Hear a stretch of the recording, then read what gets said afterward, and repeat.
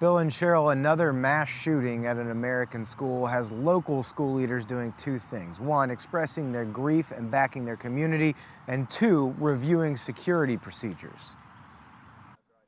We need to make sure we take care of each other. It's a 24 hour drive from Colonial Heights to Uvalde, Texas, a distance that feels much shorter Wednesday. I think it weighs a, a lot on all of us, all, you know, teachers, students, uh, administration, because we're constantly thinking about all the things that we have to do in schools, but now we're constantly thinking about that other piece. Dr. William Sroufe is the superintendent of Colonial Heights schools. Safety is woven into what we do, and we're, you know, we take an, a holistic approach to it. In light of Uvalde, Sroufe says his leadership team may consider reviewing their safety protocols more frequently than required by the state. What I want to know for, from our standpoint is, you know, how the young man got into the building, how did he access the building, and those are the things that to see how we're operating. In 2019, following the Parkland school shooting, Virginia doubled the amount school districts can get for security each year.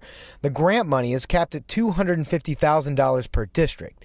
Sroufe says that's helpful, but improving security infrastructure is not cheap. It did increase a couple of years ago, but it's still a competitive grant system. If we want to keep schools safe, we should fully fund schools. You know, we should fully fund um, the, the safety of schools. Wednesday, districts across Central Virginia made counselors available for students and staff. Trying to figure out, like, okay, if somebody did come in. This Chesterfield parent is also a teacher and sums up what so many of her colleagues must think about these days. There's a Facebook post going around talking about, you know, teachers walk into a room and it's like, all right, where's the things I can put in front of the door? Where's the exits? What does my classroom look like from the outside? Can anybody see through my windows?